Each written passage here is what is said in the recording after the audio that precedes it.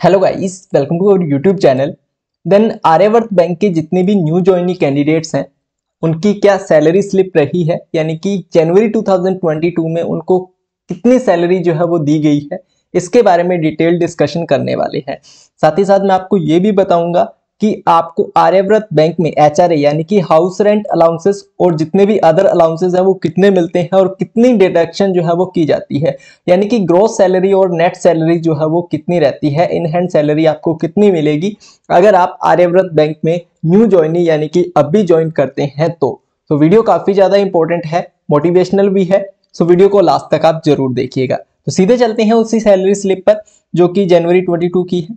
यहाँ पर सबसे पहले देख लीजिए 22 की सैलरी है और मंथ की बात करें तो जनवरी है, ठीक है?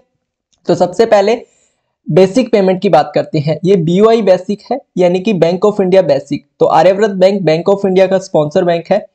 तो बैंक ऑफ़ इंडिया इसका स्पॉन्सर बैंक है तो बैंक ऑफ़ इंडिया की तरफ़ से ही सैलरी स्लिप आती है। तो बेसिक पेमेंट इसमें जो है वो छत्तीस हज़ार रुपए है। हाउस रेंट का जो अलाउंस मिलता है वो दो हज़ार पाँच सौ बीस रुपए मिलता है। डियरनेस का जो अलाउंस है वो दस हज़ार नौ सौ छत्तीस रुपए मिलता है। स्पेशल अलाउंस के रूप में पाँच हज़ार नौ सौ चार रुपए और डीए ऑन स्पेशल अलाउंस के रूप में एक हज़ार सात सौ तिरानवे रुपए मिलते हैं। यानी कि इसको टोटल किया जाए, ये सत्तावन हज़ार एक सौ चौवन रुपए बनते हैं। लेकिन ये इतने रुपए आपके अकाउंट में ट्रांसफ़र नहीं किए जाते हैं, क्योंकि इसमें से कुछ अमाउंट जो है वो डिडक्ट कर ली जाती है। कितनी? तो एनपीएस के रूप में चार हज़ार छह सौ चौरानवे रुपए जो है वो काट लिए जाते हैं। तो इसमें से अगर आप चार हज़ार छह सौ चौरानवे रुपए को माइनस करेंगे तो आपकी इन हैंड सैलरी निकल कर आएगी बावन हज़ार चार सौ साठ रुपए।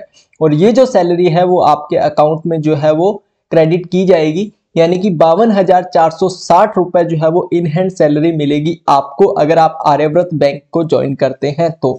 तो जनवरी की सैलरी है आगे अगर आप अभी ज्वाइन करते हैं तो फरवरी अभी निकल चुकी है तो आपकी जो सैलरी है वो लगभग आपकी मार्च एंड या फिर अप्रैल तक आपकी सैलरी आएगी तो उसमें आप 600 से 800 रुपए और जोड़ लिए और जोड़ लीजिए यानी कि अराउंड अराउंड 53,000 आपकी जो सैलरी है वो रहने वाली है। स्टार्टिंग सैलरी अगर आप ज्वाइन करते हैं जो कि काफ़ी अच्छी खासी सैलरी जो है वो रहती है as a scale one officer आगे आगे जैसे आप वर्क करते जाएँगे वैसे वैसे आपकी सैलरी में भी इंक्रीजमेंट जो है वो आपको देखने को मिलेगा।